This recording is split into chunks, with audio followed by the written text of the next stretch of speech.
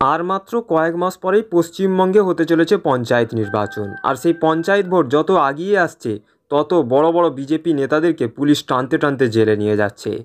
ঠিক পঞ্চায়েত ভোটের আগে আর কোনো বিজেপি নেতা বাইরে থাকবে না। সব বিজেপি নেতার জায়গা হয়ে যাবে জেলের মধ্যে। কারণ এই বিজেপি নেতারা চুরি করেছে, ডাকাতি করেছে, যেখানেই সুযোগ পেয়েছে সেখানেই এরা ছিনতাইবাজি করেছে।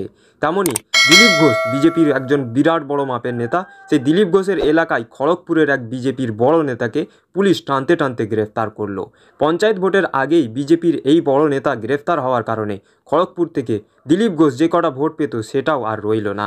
বিজেপি পার্টি খড়গপুর থেকে এবং আস্তে আস্তে গোটা পশ্চিমবঙ্গ থেকে প্রায় শেষ হয়ে গেল।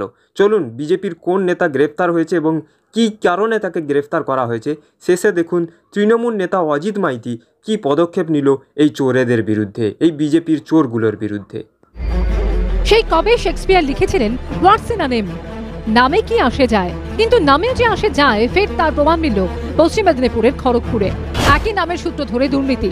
একই নাম হওয়ায় একজনের সুবিধা অন্যজনকে পাইয়ে দেওয়ার অভিযোগ। ঘটনায় বিজেপি পরিচালিত খড়গপুরের বড়গলা পঞ্চায়েতের বিজেপির পঞ্চায়েত সদস্যকে গ্রেফতার করল পুলিশ। পুলিশ সূত্রে খবর, আবাস যোজনার প্রকল্পের সুবিধা পেতে পঞ্চায়েতে আবেদন জানিয়েছিলেন অরুণ ঘোষ নামে এক ব্যক্তি। কিন্তু অভিযোগ, তার বদলে ওই একই নামের অপর এক ব্যক্তিকে টাকার বিনিময়ে প্রকল্পের সুবিধা পাইয়ে দেন পঞ্চায়েতের বিজেপি সদস্য। খড়গপুর লোকাল থানায় অভিযোগ দাঁড় করেন আবেদনকারী গ্রামবাসী। সেই অভিযোগের প্রেক্ষিতে রঞ্জিত রানা নামে অভিযুক্ত বিজেপি সদস্যকে গোকুলপুর এলাকা থেকে গ্রেফতার করেছে পুলিশ। আপনি টাকা নিয়েছেন? আমি কেন টাকা নেব আপনার বিরুদ্ধে তো দুর্নীতির অভিযোগটা উঠছে। ও তো অভিযোগ উঠতেই পারে সাজানো হয়েছে এটা সাজানো। যিনি ছাড়েন ছাড়েন তার তিনাকে ধরুন যিনি পাস করেন আমি তো বাড়ি দেই না কাকু। আমার মা- মাত্র সই আছে বাড়ি দেয় তো বিডিও সাহেব বিডিএম দেয়। তো আপনাকে কি রাজনৈতিকভাবে ফাঁসানো হয়েছে? রাজনৈতিকই ফাঁসানো হয়েছে এটা রাজনৈতিক চক্রান্ত।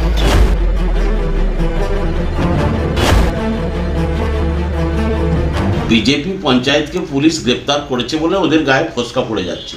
ওরা তো জানে না ওই জিপিটা ওদের প্রধান আছে।